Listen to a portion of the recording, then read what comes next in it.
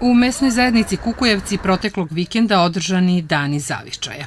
Manifestacija otpočela parastosom kod spomen obeležija palim meštanima ovog sela u ratnim sukobima iz 90. godina prošlog veka i posetom pravoslavnom hramu. U Kukujevci su došli u 99,9%, znači ima nas više od 155 mesta, ima jedan mali deo e, koji su e, žive sa nama, gde imaju sva normalna prava kao i svi ostali i nadam se da nema niko ovdje neke probleme, a svaki prolaznik koji dolazi na ovaj prostor dobrodošao u Kukujevce.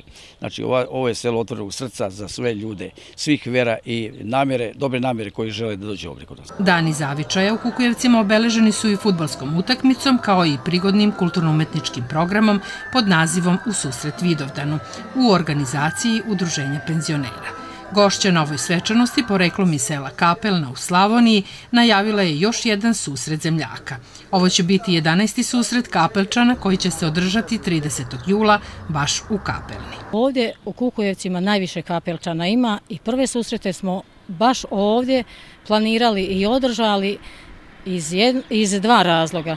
Zato što imamo ovdje puno Kapelčana i zato što je trebao da prisustuje sada blaženo počivši patrijarh Pavle. On je rođen u Kućancima, a njegova majka je rođena u Kapelni, odakle smo mi Kapelčani. Bila je to i prilika da saznamo nešto više o problemima sa kojima se danas susreću izbegli i prognani Srbi sa područja današnje Republike Hrvatske i područja Federacije Bosne i Hercegovine. Prema nezvečnim procenama u Srbiji živi negdje oko 300.000 protiranih Srba sa područja današnje Hrvatske i negdje oko 200.000 protiranih Srba sa područja Federacije BiH. Dakle, to je korpus od gotovo pola miliona ljudi koji je protiran sa svojih vjekovnih područja. Mnogi od njih nisu ostvarili svoje osnovna ljudska prava. Jedan dio njih ima i dalje probleme procesu integracije. Nažalost, mnogi su 20-25 godina i dalje postanari.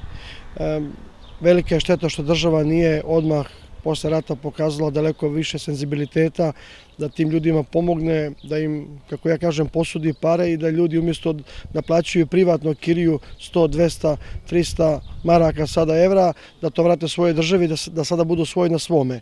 Na sreću počeo je sad jedan e, regionalni stambeni program u koji su uključene četiri države regiona, Hrvatska, Srbija, BiH i Crna Gora, čiji je cilj da se pomogne upravo rešavanje stambenih potreba lica koje su postanari ili koji su počeli da grade kuće, ali nemaju sastave da ih završe. Tako da se nadam uz jednu aktivnu ulogu našeg komisarata za izbjeglice, e, lokalnih samuprava, da će u nekom razumnom roku i taj problem biti rješen. Na ovom skupu predstavljeno je informativno glasilo Srpsko kolo u izdanju Saveza Srba iz regiona, koji prati položaj, aktuelne probleme i potrebe Srba iz regiona koji žive u Srbiji, ali i širom sveta.